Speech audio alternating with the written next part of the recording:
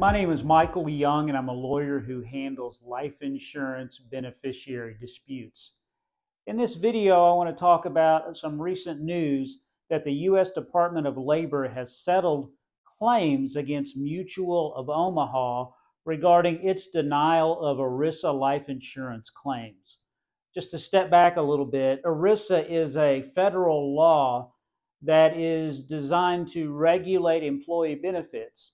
And that would often include pension benefits, health insurance coverage, but also life insurance. Many people get their life insurance company through their employer through a group plan. The employee will contribute the premiums or they're deducted from their paycheck, and then they will obtain group life insurance coverage. Well, ERISA can be very unfair to the employee and to the advantage of the insurance company. And I get these calls all the time.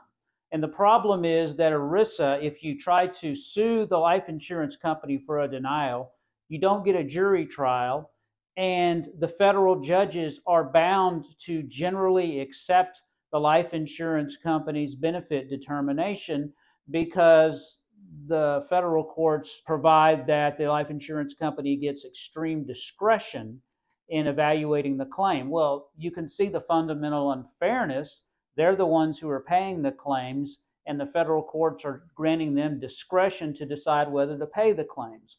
Well, a common scenario that I see is that ERISA provides that the life insurance company has to administer payments and handling of the claims in accord with the plan documents. Well, what will happen is that someone will pay premiums for years through their payroll deductions then, if they pass away, their beneficiary will make a claim, and then the life insurance company will go back and say, oh no, for whatever reason, you didn't meet the requirements of the plan, so you never had coverage. And the employee's estate or loved ones may get a refund of the premium payments, but that's often much less than the actual policy payout, which for an ERISA policy can be 250, 300, 500, $700,000 or more. The problem is is that in the meantime that person, the employee and their loved ones have believed that they had life insurance coverage. And it's fundamentally unfair for the insurance company to accept the premium payments and then only go back and look later on, years later, and say, oh, you never met the coverage. Well, that's why the Department of Labor brought those claims against Mutual of Omaha and settled them and now provides a mechanism where Mutual of Omaha has to decide, generally within 90 days, whether a person meets the requirements of the plan, make that determination then, not after the employee passes away.